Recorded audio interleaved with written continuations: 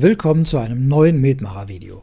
Heute gucken wir uns an, wie man die Honigmenge in Kilogramm für einen Ansatz mit einem gewünschten Volumen bei Gärstart im Voraus berechnen kann, also noch bevor ihr Honig kauft.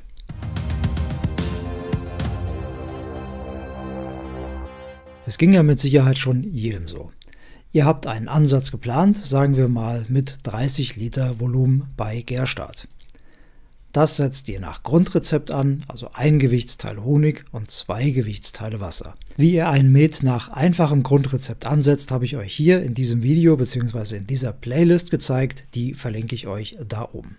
Ja, und theoretisch würdet ihr jetzt einfach 10 Kilo Honig nehmen und 20 Kilo bzw. Liter Wasser. Und dann kommt die Ernüchterung. Hier habt ihr ein 30 Liter Speidelgetränk gefasst. Die Dinger sind richtig super. Ich packe euch einen Link dazu in die Beschreibung. Da sind auch noch ein paar andere Links zu anderen Gärfässern zu finden.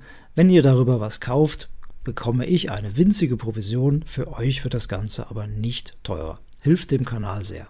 So, hier habt ihr also den 30 Liter Speidelbehälter und wenn ihr da 30 Liter reinfüllt, ist der Flüssigkeitsstand ungefähr beim blauen Pfeil. Ja, und jetzt habt ihr hier den roten Pfeil und ungefähr da landet ihr, wenn ihr 10 Kilo Honig und 20 Liter Wasser zusammen da reinpackt und das verrührt. Warum ist das so?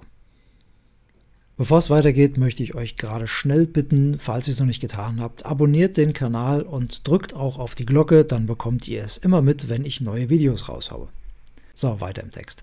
Also, bei Wasser entspricht das Gewicht in Kilogramm dem Volumen in Litern. Das ist natürlich temperaturabhängig, bitte nicht spitzfindig werden. Bei Raumtemperatur, sagen wir mal 20 Grad, hat ein Liter Wasser das Gewicht von einem Kilogramm. Bei Honig ist das allerdings anders.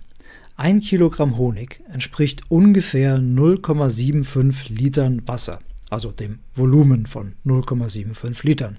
Das variiert natürlich von Honig zu Honig etwas. Honig ist ein Naturprodukt und dieses Verhältnis hat den Bienen einfach keiner mitgeteilt. Kommen wir mal zu unserem 30 Liter Beispiel. Es sind 20 Kilo Wasser im Spiel, die entsprechen 20 Litern. Dann sind 10 Kilo Honig drin und die entsprechen aber nur 7,5 Litern. Es sind also insgesamt nur ungefähr 27,5 Liter im Behälter und nicht, wie gewünscht, 30 Liter. Was jetzt? Rantasten? Geht natürlich, aber es kostet Zeit, weil ihr müsst ja ständig ein bisschen Honig, ein bisschen Wasser dabei packen und da immer noch auf das Verhältnis schauen. Und es ist im Vorhinein nicht planbar.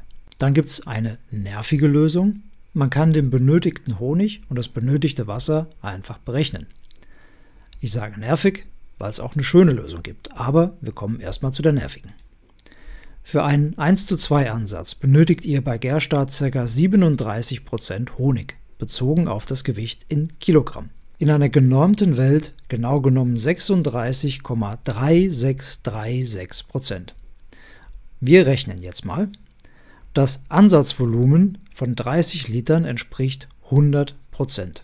Wohlgemerkt 30 Liter, nicht 30 Kilo. Die benötigte Honigmenge in Kilogramm entspricht den 36,3636 Prozent. Das wären 10,91 Kilogramm. Also 36, Prozent von den 30 Litern sind 10,91 Kilo. Die benötigte Wassermenge entspricht dann, ja, jetzt wird es dann richtig nervig. Gleich kommt die einfache Lösung, aber zum Verständnis erstmal weiter mit dem nervigen Kram. Da müssen wir jetzt einfach alle durch. 10,91 Kilogramm Honig werden benötigt. Das müsst ihr jetzt in das Volumen vom Honig umrechnen. Also 10,91 mal 0,75 sind 8,18.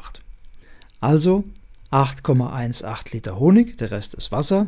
Dann nehmen wir das gesamte Ansatzvolumen, das ihr haben wollt, von 30 Litern, ziehen davon 8,18 ab und landen dann bei 21,82. Also mit 10,91 Kilo Honig und 21,82 Litern Wasser landet ihr bei ungefähr 30 Liter Ansatzvolumen. Und? Ist das nervig und kompliziert? Ja, sagte ich ja. Jetzt seid ihr vielleicht faul und habt keinen Bock auf Rechnerei. So wie ich.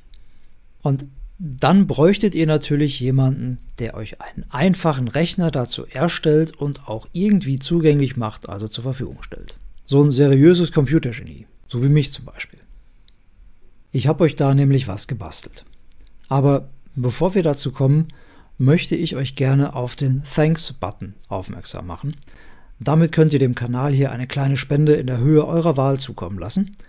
Und äh, ich würde mich darüber sehr freuen. Ihr motiviert mich damit durchaus weitere Videos zu produzieren und alles, was ihr spendet, landet natürlich auch im Kanal. Also in dem Metmacher YouTube-Kanal. Aber weiter im Text, ich habe hier eine Excel-Liste für euch erstellt. Die sieht, wenn ihr die öffnet, so aus und einen Link dazu findet ihr in der Beschreibung zu diesem Video. In dem Pflichtfeld oben rechts, ich zeige euch das mal mit der Maus, hier tragt ihr einfach das gewünschte Ansatzvolumen in Litern bei Gärstart ein. Ich habe jetzt hier die 30 genommen, wir haben ja in dem Beispiel vorher auch von 30 Litern gesprochen. Und wenn ihr hier euer Wunschvolumen eingibt, werden diese vier Werte hier für euch automatisch berechnet. Ihr seht, wir haben hier die 10,91 Kilogramm benötigter Honig und 21,82 Liter bzw. Kilo benötigtes Wasser. Hier seht ihr auch noch das Volumen des Honigs, also die 10,91 Kilo, entspricht, wie wir eben berechnet haben, 8,18 Litern. Und da ich sowieso gerade am Rumrechnen war, gebe ich euch hier noch die völlig nutzlose Information mit, wie hoch das Gewicht eures Gesamtansatzes in Kilogramm ist. Werdet ihr mit Sicherheit nicht brauchen, aber ich war gerade dabei.